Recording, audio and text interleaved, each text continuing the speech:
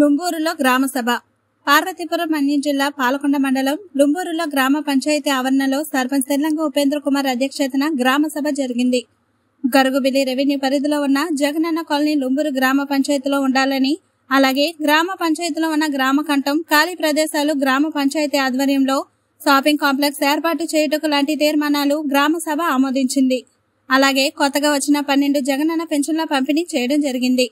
ఈ కార్యక్రమంలో RWS AE Pravalika ఉప సర్పంచ్ పడాల రామచంద్రరావు మాజీ సర్పంచులు రౌతు వాసుదేవరావు స్వామిబాబు నెల్లి నాగభూషణరావు చోడవరపు కృష్ణ పంచాయతీ కార్యదర్శి రాంబాబు సచివాలయ పంచాయతీ ఉద్యోగులు వాలంటీర్లు మరియు గ్రామస్తులు పాల్గొన్నారు.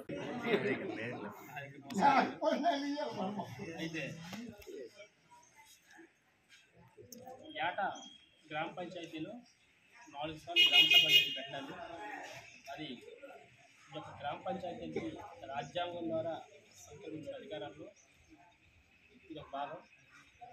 అంటే రాష్ట్ర ప్రభుత్వాలు కేంద్ర ప్రభుత్వాలు కేంద్ర ప్రభుత్వాలు అయితే పార్లమెంటు సభ సమావేశాలు పెట్టి ఎలాగైతే బిల్లు ఆమోదం చేసుకుంటాయి రాష్ట్ర ప్రభుత్వాలు అసెంబ్లీ సమావేశం ఎలాగైతే బిల్స్ ఏమైనా వాళ్ళకి ఆమోదం చేసుకుంటారు. అలాగే గ్రామ పంచాయతీకి బడ్జెట్ నిధుల ద్వారా గ్రామ సభలు పెట్టుకోవడం గ్రామ పెద్దల సంక్షేమం వాటర్ సంక్షేమం వాళ్ళకి ఏవైతే నీడ్స్ ఉంటాయో వాటిని ఈ గ్రామ సభలో ఆమోదం ఇవి పెట్టుకోవడం జరిగింది.